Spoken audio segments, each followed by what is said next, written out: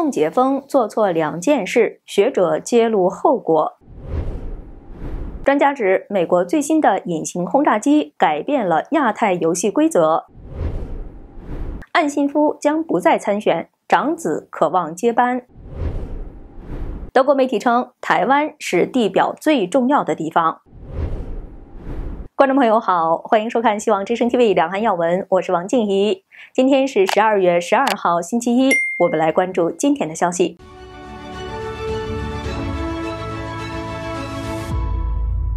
河北省保定市近日疫情爆发，有观点认为清零本就是错误的防疫政策，现在中共又选择了错误的时间解封，而且没有准备应急的 B 计划，可能会产生严重的后果。在微博上，“保定疫情”“保定放开之后”等话题，一天之内就获得了超过一亿次的阅读。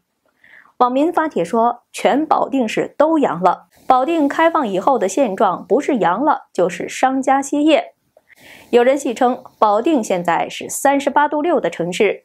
有人说，下楼五分钟就得阳。其实这个说法不对，不用下楼也能阳。大街上全都是杨过、杨康、王重阳。虽然官方不断的宣传奥密克戎重病率很低，但是从网络上看，保定人的困扰其实在于买药难和担忧重复感染。例如，有人写道：“疫情当下，经济受损极为严重，药店里的常备药的价格却是只增不减。”专家一句“放开”，网友一句“只是小感冒”，就把阳性之后的身体发生的不适的反应，对于感染者的后遗症全都略过了。关于是否再次感染的问题，专家的回答非常的巧妙，看似什么都说了，其实又什么都没有说，真是谨慎。还有人揭露官方的数字造假，发文说，疫情放开之前，保定就已经控制不住了，每天网上报的是一例两例，其实呢，我们这一片就有四五十例。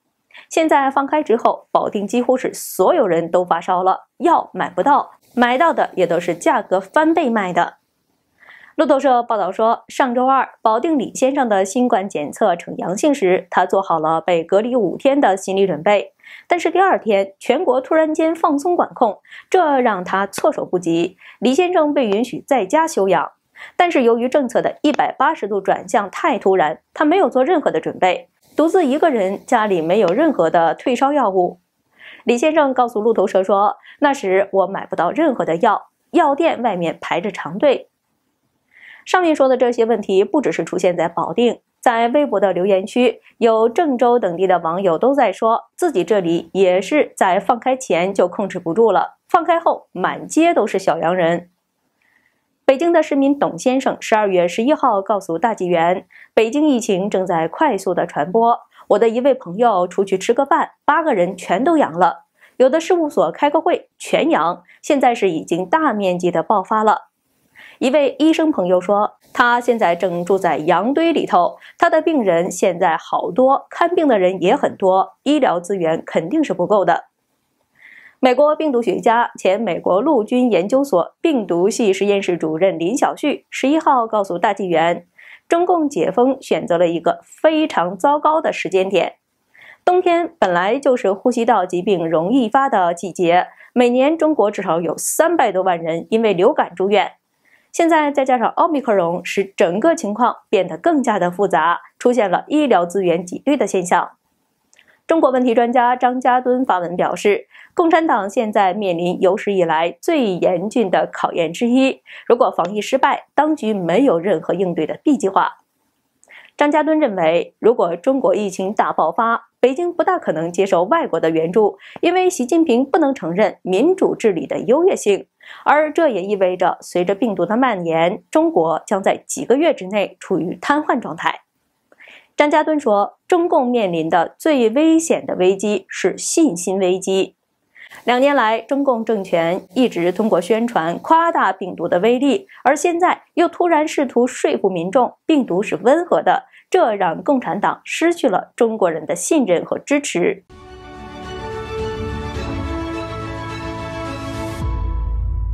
美国最新型的核武隐形轰炸机 B-21 突击者在本月初首次亮相。十二月十一号，南华早报引述分析人士指出，这款轰炸机将改变亚太地区战略游戏规则，因为美国未来不再需要临近台湾的基地，就能在台海战争爆发时及时驰援台湾。根据南华早报的报道，B-21 突击者轰炸机不仅是美国近三十年来首次推出的新型国产轰炸机，也是五角大楼对于中方不断提升军备的回应。美国军方智库兰德公司高级分析师希斯表示，突击者将对亚太地区产生巨大的影响。这款军机将让美国的军事部署更加的灵活，以应对亚太地区战斗突发事件。比如，未来如果台湾真的爆发战争，美国不再需要一座靠近台湾的基地，就能出动突击者驰援。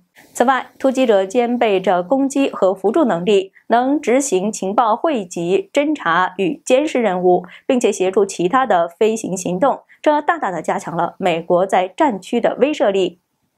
美国国防部长奥斯汀二号主持 B-21 首度公开仪式，他在致辞时表示。这不仅仅是另一架飞机，它是我们决心捍卫美国的体现。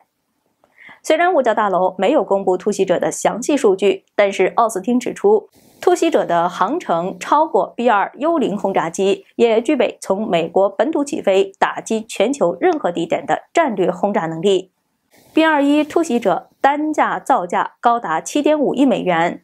部分防务专家表示，B-21 的涂层材料更为精密。更难被敌方发现，而它的控制电子发射方式也能让自己伪装成其他的物体，成功骗过敌方的雷达。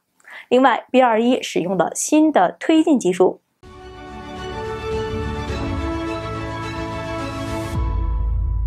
日本前首相安倍晋三的胞弟、前防卫大臣岸信夫日前透露，他因为健康的问题将不参选下届众议员。他的长子岸信千世渴望出马接班。综合日本媒体的报道，岸信夫十一号在选区山口县岩国市出席一场后援会的干部会议时，宣布了这一决定。他希望能专心的治病。岸信夫现年六十三岁，他在二零零二年进入政坛，担任国会议员已经长达十八年。他在政坛的评价极高，曾在菅义伟及岸田文雄内阁担任过防务大臣。岸信夫的长子岸信千世今年三十一岁，在英庆大学毕业之后就进入了富士电视台担任记者，曾主跑社会新闻。二零二零年辞职，转而担任父亲岸信夫的秘书。和二伯父安倍晋三关系良好。据悉，他在转战政坛时，安倍也曾告诫，必须要有彻底的觉悟。安倍过世之后，岸信千世也是安倍接班人选。当时他接受杂志专访时表示，接班问题并非他能决定，但是继承安倍的遗志是毋庸置疑的。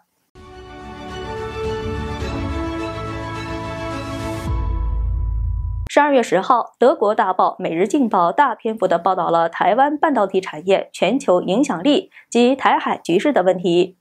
文章称，台湾是地表最重要的地方，若失去了台湾芯片的供应，全球发展就会停滞不前。所以，保护台湾不受中共侵略非常的重要。根据《自由时报》的报道，《每日镜报》记者迪克曼在个人推特上介绍了上述报道的内容。迪克曼表示，许多人仍然不明白的是，全世界的福祉将取决于台湾的安全。民主世界必须考虑如何全力保护台湾。台积电生产全球百分之九十以上的芯片，在二零二一年芯片荒之际，时任德国经济能源部长彼得阿尔特道尔还亲自致函台湾政府，请求协助舒缓芯片供应问题。迪克曼写道：“自己为了解台湾芯片有多么重要，还写信询问美国半导体专家《芯片大战》一书的作者克里斯米勒。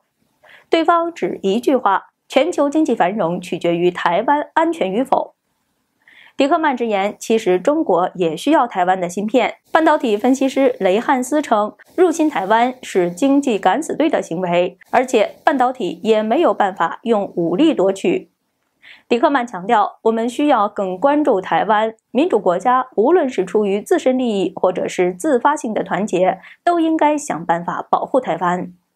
他还提议，世界民主国家还要降低对中国的经济依赖，尤其是德国。一旦中共入侵台湾，将是二战以来对德国经济繁荣最大的威胁。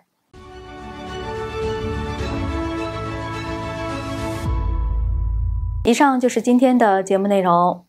今天在网上看到，因为调查铁链女事件而被迫出走国外的记者赵兰健发布的一段关于可能是被活摘器官的江西上饶致远中学学生胡新宇的视频，又让我觉得很上头，和您分享一下。